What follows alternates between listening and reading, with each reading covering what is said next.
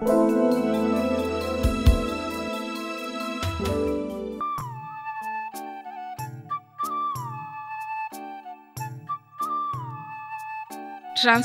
is an important operation in paddy cultivation which has got lot of advantages like more assured population, seedlings can able to compete with the weeds and management practices become easier. Traditional method of transplanting by hand is a labor intensive operation consumes 33% of total labor required in rice production. Hence, farmers slowly switching over to machine transplanting.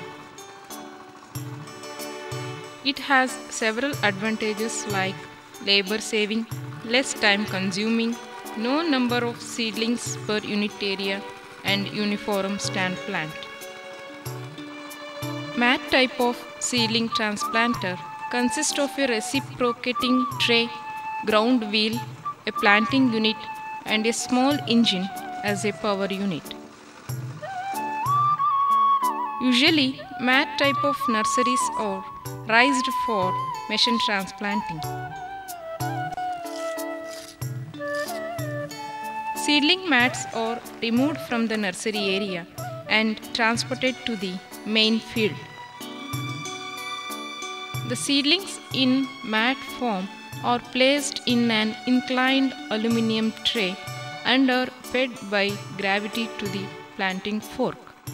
Mechanical feeders located at the lower end of the tray intermittently flick the seedling mat and cause it to slide down. A screw mechanism gradually moves the tray from side to side to ensure uniform quantity of seedlings to be picked by the fingers. Transplanting with machine helps in line transplanting of the seedling and covers 8 rows at a time which helps in achieving the required plant population per unit area and makes weeding and intercultural operation easy.